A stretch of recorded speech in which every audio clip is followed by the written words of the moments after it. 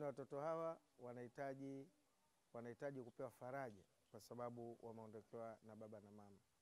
Kwa hiyo ni vyema Watanzania wote waka, wakaona hilo, kuwasaidia kwenye vyakula, elimu na ikiwezekana kuwasaidia hata katika makazi yao.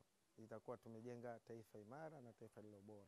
Kwa hiyo mamlaka ya bandari kupitia kwa mkurugenzi wetu mkuu tunamwakilisha pia Bwana Eric Hamisi, tunamwakilisha kwa namna ya pekee, namna ambavyo wafanyakazi wa bandari wameweza kujitoa bila kutumia taasisi, wametoa kile ambacho wanacho katika mifuko yao. Kwa hiyo tumefanya hivi kwa ajili ya hawa watoto yatima, na huu ni mwanzo tu. Tutajitahidi kwamba wakati ujao, labda kwenye mfungo wa ishirini hivi, basi tujiorganize vizuri zaidi, tuje na, na kiasi kikubwa zaidi, kwa sababu tunaamini hili ni jukumu letu, sio jukumu lako wewe peke yake, ni jukumu la jamii nzima.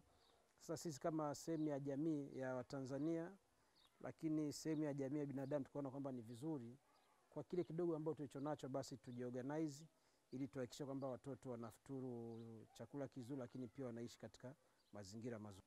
Jukumu la kulea watoto yatima sio jukumu la mtu mmoja, ni jukumu la jamii nzima. Kwao naomba tujitokeze kwa wingi kuhakikisha kwamba tunawasaidia hawa watoto yatima ili waweze kupata malezi bora, lakini pia tuwajengee kesho yao iliyo bora. Na pindi tunapojengea kesho iliyo bora, ina maana kwamba tunakuwa tunatengeneza taifa ambalo lililo bora, kwa sababu tumekuwa tume, tumewalia katika maisha katika mazingira ambayo ni mazuri. Kwa hiyo naamini kwamba kama tutajitokeza Watanzania wote tukawasaidia hawa watoto yatima walioko hapa na walioko sehemu nyingine, naamini tutakuwa tumefanya jambo kubwa sana, lakini pia tutakuwa tumetengeneza kizazi ambacho ni bora ambacho kitakuja kutengeneza taifa ta, Tanzania ambayo ni bora zaidi kuliko ya hivi sasa.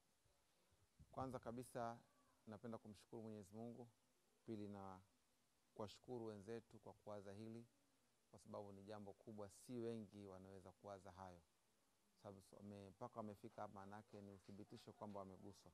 Kwa hiyo kuja kwao ndugu zetu na kuweza kuthamini hili kwa nafsi zao bila kutumwa na kampuni, wao wametoka wao kama wao, ni uthibitisho kuipeleka Tanzania kutokuwa na watoto wanyonge na watoto ama ima kumaliza ima kupunguza watoto wa mitaani au watoto mazingira magumu, kwamba wamekubali kubeba ubaba na mama nao wataubeba umama. Kwa hiyo kwa hilo nasema asanteni sana, Mungu awabariki sana.